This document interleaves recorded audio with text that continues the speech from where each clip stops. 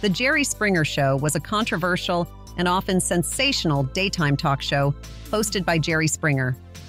Debuting in 1991, the show gained notoriety for its outrageous topics, heated confrontations, and unconventional guests.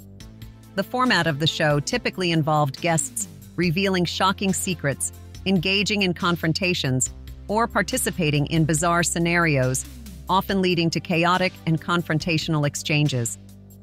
The Jerry Springer Show became known for its wild antics, including physical altercations, provocative behavior, and unconventional relationships. Despite its controversial content, the show attracted a large audience and became a cultural phenomenon, especially among younger viewers. It was often criticized for its exploitative nature and the way it sensationalized personal issues for entertainment. Over the years, the Jerry Springer Show became synonymous with a particular style of tabloid television characterized by its unpredictable and often outrageous segments.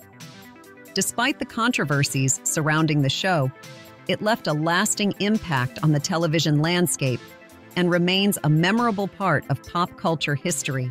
Thank you for watching Favorite Old Sitcom Talk Show Edition. Don't forget to like, share, comment, subscribe.